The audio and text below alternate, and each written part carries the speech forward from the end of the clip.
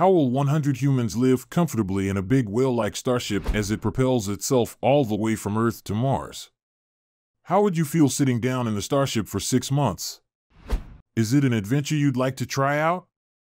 Stick around as we discuss more on how humans may survive in the starship for a six-month journey to Mars. Before now, only astronauts are trained and qualified to travel in a rocket. And that happens if they are traveling to the ISS. If that is not the case, a rocket will most times lift off from Earth to the lower Earth orbit to deliver satellites in orbit.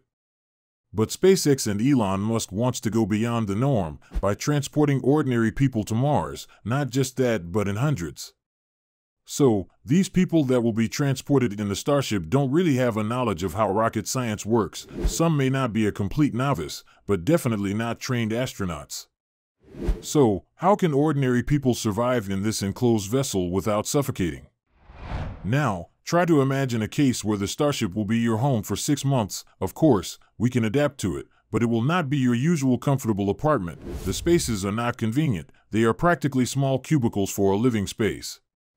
Take, for instance, the Apollo, the Soyuz, and the Dragon. They look more like a small pointy box trapped to a rocket engine and constructed as an actual ship. Well, don't think of moving freely in this rocket because you may kick your legs on one of those components on the floor or hit your head against one to tell you how narrow these rockets are.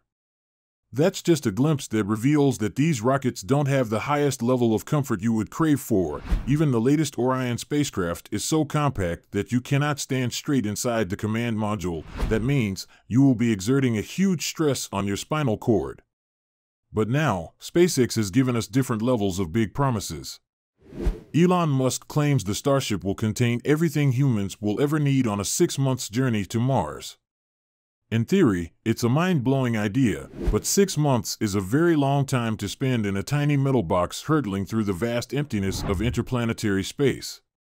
You may have a high expectation or reminisce how the Starship interior will look like. Of course, it won't just look like a metal box, but the space inside the Starship. SpaceX may adopt the interior of a Tesla EV, but not exactly close, and here's what we think it might look like. The Starship will have a luxurious interior. You'd guess to know Elon Musk has a thing for luxury, even though he likes keeping things simple. Although the Starship will feel so luxurious in many ways you could imagine, but ideal number of people that will travel in it will tell how rosy or cranky it'd feel, because the greater number of people that are on board, the more uncomfortable it will become, for each person will require a good amount of resources like food and water to stay alive. Hence, since the total mass the Starship is expected to ferry is around 100 metric tons, then we have to be conscious of the true mass of a single crew member, coupled with the food, water, and cargo.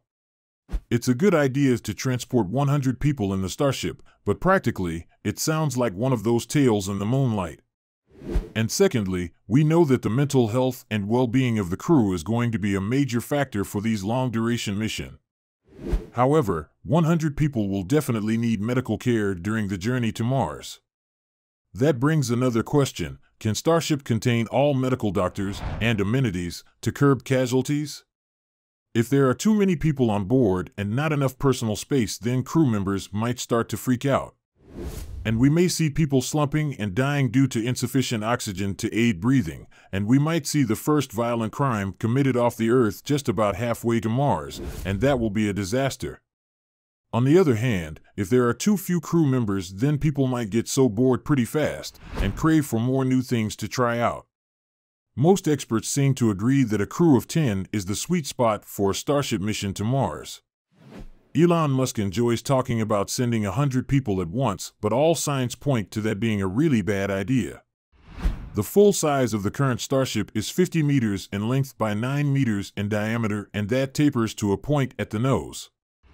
After Elon watched the Sacha Baron Cohen movie, he insisted that the nose be made pointier, like that of the dictator in the movie, so that shaves off a bit of interior volume around the upper part of the starship.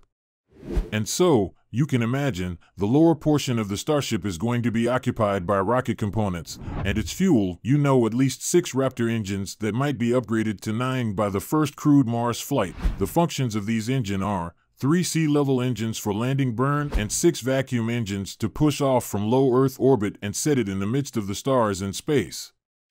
Given that this ship will have to make a vertical landing on Mars, it definitely makes sense to keep the center of gravity as low as possible, so you can imagine that the first floor is going to be dedicated to the cargo bay.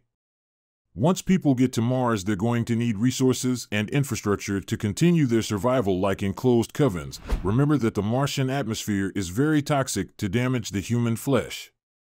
Hence, for us to be alive, we have to be living in covens all through our stay on Mars, or be exposed in the Martian atmosphere wearing a space spacesuit.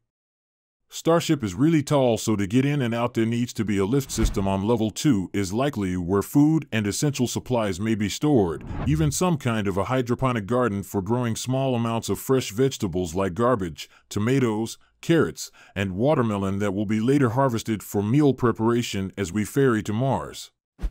The restrooms and gym are located on the third level, which is a good location. To spend extended periods of time in microgravity, one must be physically fit. The strap-down treadmill and a stationary bike have been mainstays on the International Space Station, where astronauts are required to exercise for several hours each day using a combination of cardio and resistance training. Trainings are necessary for maintaining the circulatory system and preserving cardiovascular health. Maintaining your muscle mass and bone density with weightlifting is just as crucial. However, the ISS features a resistance machine that enables the crew to perform squats and deadlifts with up to 600 pounds of resistance. Obviously, barbells and free weights don't function in zero gravity. Unfortunately, there's going to be no bathroom in the Starship, so don't expect to comfortably take your bath as you do in your apartment. Even though water is a precious resource, it doesn't flow in zero gravity, so a faucet does doesn't work. For instance, astronauts on the ISS wipe themselves down with a wet towel and use a dry shampoo in their hair, and then, of course, there is the space toilet. Same will be applicable in the Starship. SpaceX has been working thoroughly to develop a zero G toilet design for the Dragon capsule, so they should have that well figured out by the time we head to Mars. Moving up to level 4 would be the crew quarters, which won't look close to anything fancy, but given the volume of the starship, everyone should be able to have a reasonably sized compartment, perhaps something similar to those cubicles where monks sleep. Level 5 would be a great location for a common area, even though it might be configured more vertically. This is where the nose will start to really taper in, but there would still be enough room for people to just kind of float around and relax in an open space, perhaps with a really large viewing window that wraps around the room. More so, the methane header tank is positioned directly in the nose of the present Starship design, which likely reduces headroom on this level and makes it suitable for the command deck, where everyone would trap into a chair for takeoff and landing. The ship would presumably fly primarily autonomously, but there would likely still be some flight control personnels and other things of that nature. A central column would connect each deck. It will look more like a tube for easy travel between floors in zero gravity with also a ladder which will be used to navigate between different levels. The Starship interior at first launch will be very down to earth. Hence, everything will be a trial game to see what works and adjust, and design what's favorable. Would you want to take a trip in the Starship to Mars same day? Also, take a look into all you need to know about the SpaceX orbital launch, helpful info for you trip. Just click on the video.